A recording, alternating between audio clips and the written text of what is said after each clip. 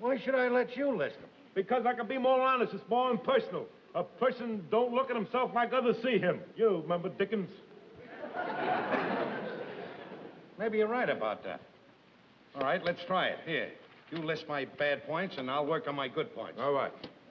You list the good points, I'll list the bad points. All right.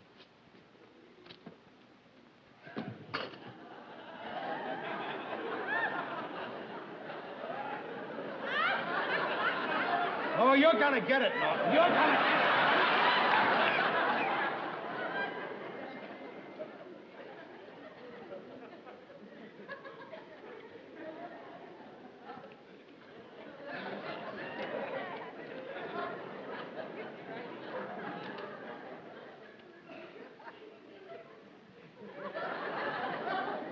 All right, all right, all right.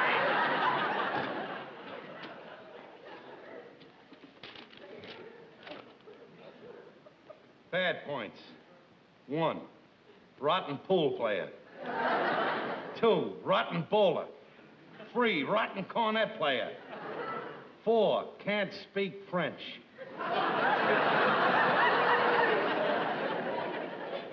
Five, doesn't pay his debts. What do you mean I don't pay my debts? Just what I said. You owe me two dollars for the last month. All right, Norton. There's your two dollars. Now scratch out doesn't pay his debts. I knew it'd work. All right, that's about all of that.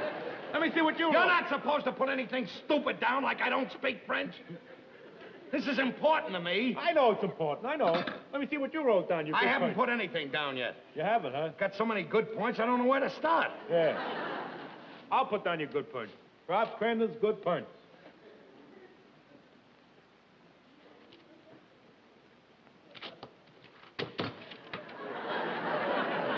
Go ahead and finish. I'm finished. You're finished. How can you finish when you were writing down my mistakes? It took you a half hour. Now it takes you five seconds.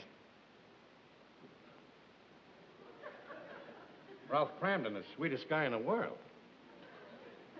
That's, uh, that's a very nice compliment, Norton. I appreciate that. Well, now maybe you realize that I'm all for you. I'm sorry if I was a little loud with you. You see, this is pretty important to me this time, Norton. I, I don't want to fail. I want to make a success of myself. I want to hit that high note. I know that. I want you to, I want you to take the test for senior clerk in, in transit authority. I want you to pass it because I'm, I, I'm going to be proud of you. I'm going to be proud of you, too, Norton. Because you're going to pass that test. And when people ask me what my best friend does for a living, I'll be proud to say that he's a sewer inspector. I'm telling you, hey, wouldn't it be something there if both of us got these jobs? You'd be the, the, the senior clerk in transit authority, I'd be the sewer inspector. Boy, I'm telling you, we'd have the city running like clockwork. You up above there running things and making things move along, and me down below there making things move along.